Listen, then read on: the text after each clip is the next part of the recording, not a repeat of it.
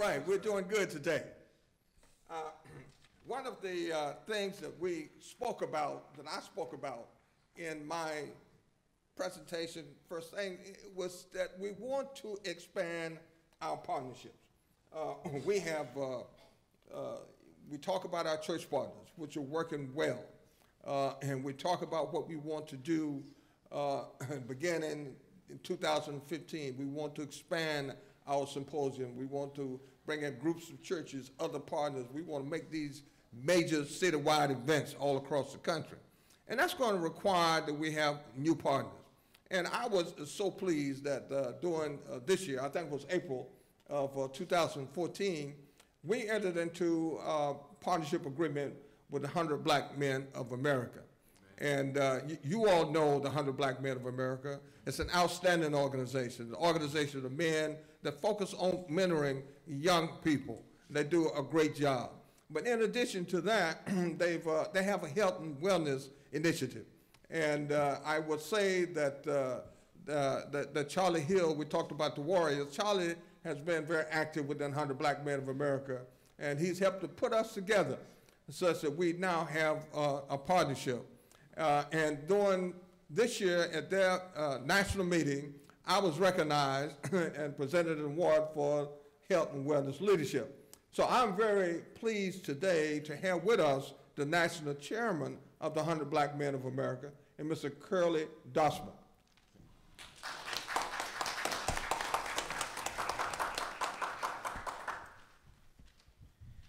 Good morning, everyone. Good morning. Uh, I'm also delighted to be here. Thank you, Tom.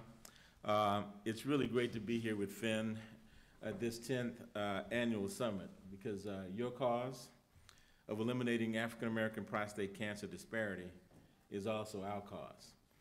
And 100 Black Men of America is pleased to have entered, as you mentioned, into a formal partnership with PHEN in April of this year. And so on behalf of our entire organization, uh, let me take a moment to share how much we deeply appreciate uh, the work that both Tom and his, Mrs. Farrington is doing and PHEN, and what you have been doing in this area for more than a decade. Uh, you are saving lives. Uh, the 100 Black Men of America is saving lives and other organizations represented here today are saving lives.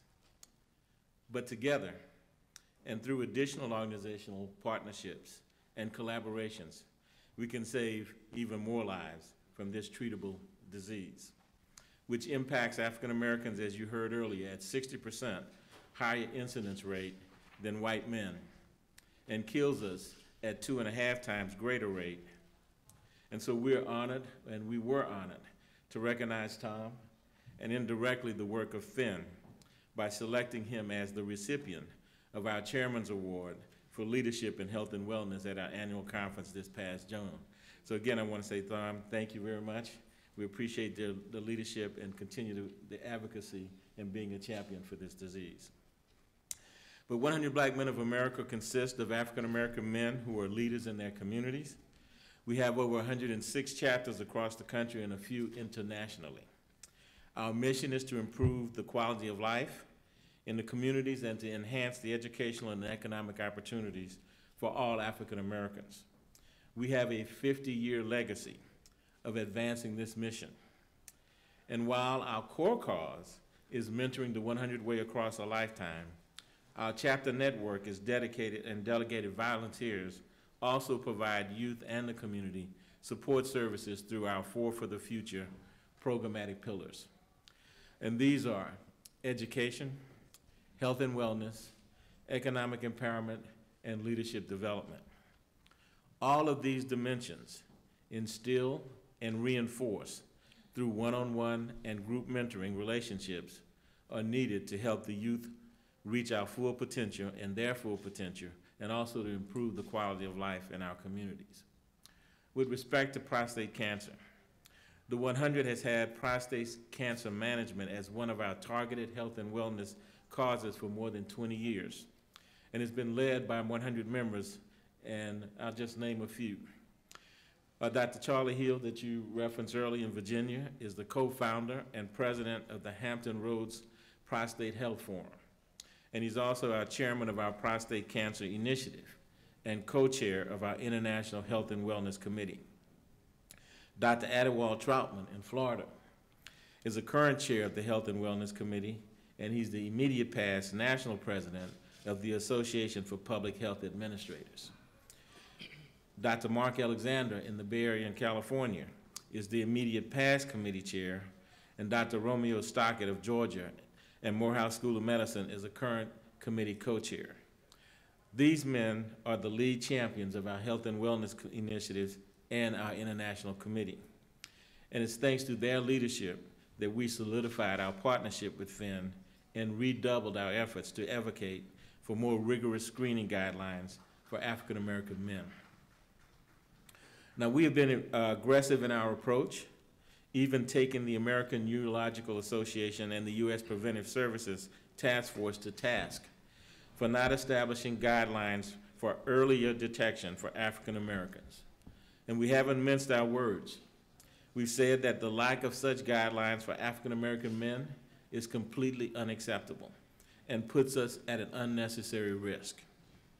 100 Black Men of America has not only defended our position, we've also taken an offensive approach by being proactive. In 2012, we issued a health and wellness prostate cancer statement to our chapter network to increase their awareness and challenge them to become advocates in their local communities.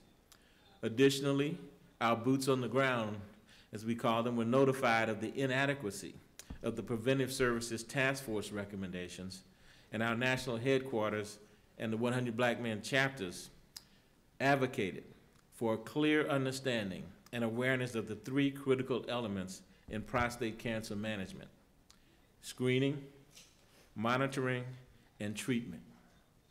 We also urged the task force to focus on the education of primary care physicians on the proper utilization of PSA results and testing for African Americans.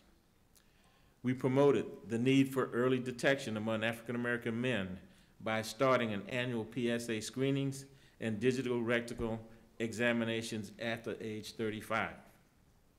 And we recom- recommitted our efforts on the education and mentoring of African American men, as well as other men at highest risk about prostate cancer and the importance of early detection. We recommend separating diagnosis from treatment because too many men shy away from being tested and examined after they hear of impotence and erectile dysfunction. Both of these are side effects of treatment and not of diagnostic measure of PSA tests, digital exams, or biopsies. We will remain vigilant in reinforcing and reaffirming our commitment to this cause. And we announced our position at our annual meeting in Atlanta and also in, in 2012, and then we reaffirmed that in our annual meeting in New Orleans in 2013. The 100 Black Men Chapter Network is where our cause touches our youth and our communities. Our chapters, as part of their health and wellness initiatives, hold prostate cancer walks, health fairs, and seminars. And every time we hold one of these, we find a number of people who were unaware of the fact that they actually had prostate cancer had been diagnosed.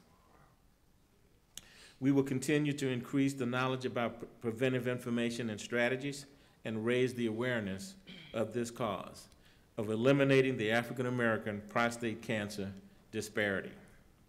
PHEN wants this, the 100 wants this, and you want this by your presence here at this summit.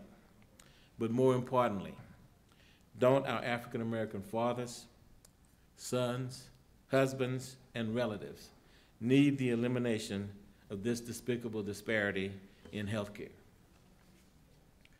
As we all know, this disease is too widespread and devastating for one organization to try and tackle its prevention alone. The presence of so many interested organizations and individuals at this summit is a recognition of that fact. And our relationship with PHEN has provided an important collaboration for our prostate cancer prevention initiative and mission. Our partnership with PHEN has helped raise our advocacy messaging efforts to a national level and enhance its credibility. Both our organizations agree that knowledge is the best defense against this disease. Through the partnership, our two organizations endeavor to advocate and promote common messaging and multivariable approaches to early detection and treatment. And while our partnership is in the early stages, we are encouraged by the promise held in our obje- objectives, which involve uh, merging the strengths of the two national organizations to achieve a combined position, and advocacy that will make a verifiable difference in healthcare policies, demonstrating that national organizations can and do work collaboratively, both on the national and local level, to bolster and leverage impact. And engaging national and community leaders around prostate health and cancer advocacy to drastically decrease the pool of African American males negatively impacted by this disease. PHEN and the 100 need more help in the area of spreading awareness of the vulnerability of African American men and their need for early detection. Our local chapter strategy has included the families of our members and especially their wives. As proud, independent men, we may not want to admit it, but we often need the prouding of our better halves. To even just to go to your primary care physician, not to mention to have that dreaded urologist give you that test. And as, uh, even though she had to leave, having Dr. Glenda Newell Harris, the national president of the Links on this PHEN Summit program, talking about the role of women and caregivers in this fight is not only appropriate, but it's also superstitious. Uh, Dr. Harris uh, uh, told her as she was walking out that I had a challenge for the Links today, and I wanted to invite uh, the Links organization to become an integral part of this effort by launching a national initiative to encourage the husbands of her members, who I understand are called the Connecting Links, to join our cause. And to that end, Tom and I jointly offer her a friendly challenge to your uh, Connecting Links, and that is to connect to the test. By this time next year, perhaps we can report on the increase of Connecting Links who actually connected by adopting and uh, adopting our testing guidelines. And so we're happy to help in any way that we can to facilitate the use of prevention guidelines. So in closing, I'm optimistic about our chances in this war against healthcare disparities and inequities. Uh, this enemy of prostate cancer can be defeated through early detection. We know that it will take a coordinated, a relentless army with all the ammunition and soldiers we can muster. Soldiers cause synergistic alliances and partnerships with the ammunition of strategy. And I don't know, I don't have all the time to tell you about the uh, Battle of Jericho, but Reverend, I'm sure that you can help, as a capable preacher in this house, you can tell more about that in that context. But we know that the walls of Jericho came down with a strange, but yet an innovative strategy, not nuclear warheads. Uh, God mobilized his people, and eventually it was their combined shout that brought down the barrier walls to the promised land. So our African American brothers deserve to enter their promised land of health, of equity, and longevity. And so I'm glad that we're in this battle together, and we will win. So, like Joshua, let's not wait until the battle is over. Let's shout now. That's good. Thank you very much.